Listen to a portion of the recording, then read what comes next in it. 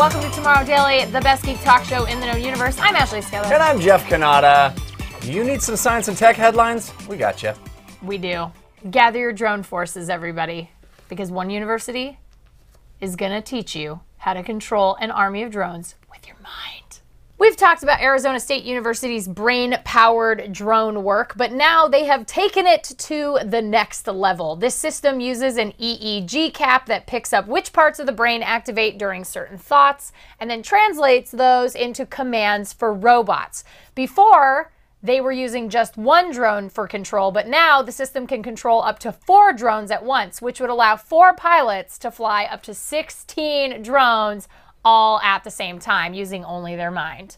ASU hopes to keep working on their research and also aims to have multiple people controlling multiple robots simultaneously. So we'll keep an eye on it and hopefully we'll have more to show you soon.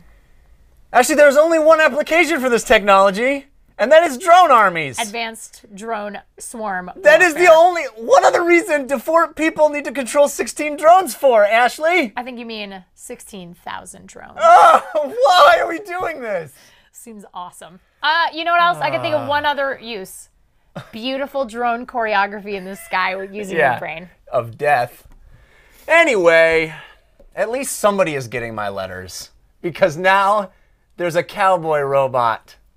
Swagbot is part of a farm robot trial headed up by the University of Sydney, and he's officially out in the pastures. The robot has a variety of jobs, including herding cattle, and the idea here is to use robots in places where traditional humans on horseback would be too dangerous or remote.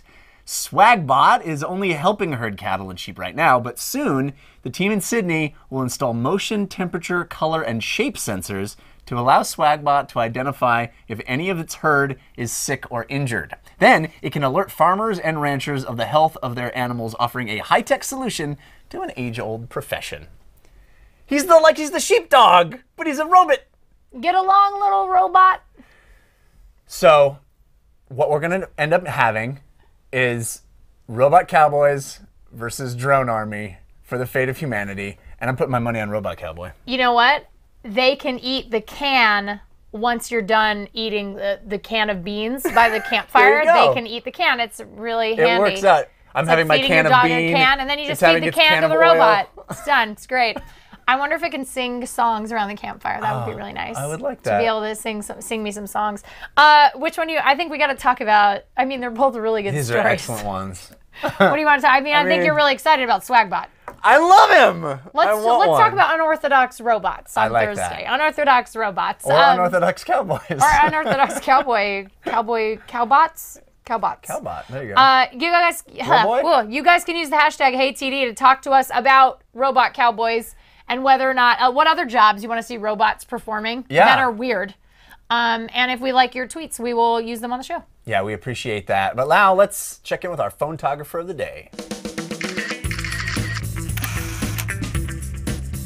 Today's photographer of the day is Hazar, who took this picture with a Galaxy S5. Hazar writes, This is my dog Nike, passed away not too long ago. Oh. Uh, he was my favorite person, and by person I mean just look at him. He made everyone love him and laugh with him in minutes after meeting him. As you can tell from the picture, he had such a dude personality, and I saw myself in him all the time. No hmm. matter what kind of day it was, he was always there to make it better. By the way, he also watched your show just like me. He was a loyal fan and forever friend, and most consistently, a blanket hog. Oh, this is Nike. so sweet. And you know what? This is a very nice tribute to what was obviously a wonderful best friend. Yeah. And I'm so glad you sent in this picture, Hazar, because Nike is adorable. And we're so sorry that he's not around anymore. But uh, but you know what? Now we got to meet him a little bit, and I'm really excited about that. So thank you for sending in your pet photography.